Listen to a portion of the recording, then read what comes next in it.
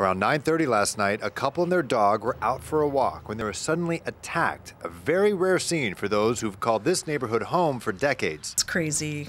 Even if I was here for 2 years, it's crazy. Police say the attack was totally random. Unprovocably and without reason, uh, pulled out a what we believe to be an edged weapon and began, began to stab our victim multiple times. Just heard a scream, went outside and, you know, didn't really see much other than the victim and his wife.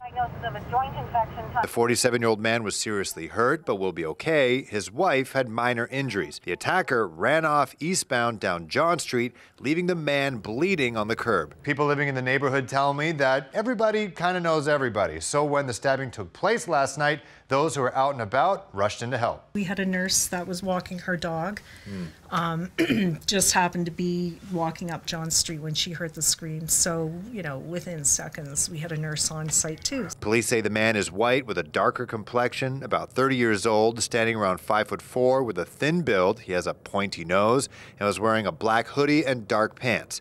Neighbors here are especially worried due to the nature of the attack. So that's a little worrisome, um, just again, because this is a high traffic area for people to walk their dogs at night. Mm. Um, a lot of people walk their dogs. The residents of Waterdown are expected to see a large police presence in the area. Uh, Uh, actually, police should be there now as well, canvassing the area for witnesses and any video surveillance.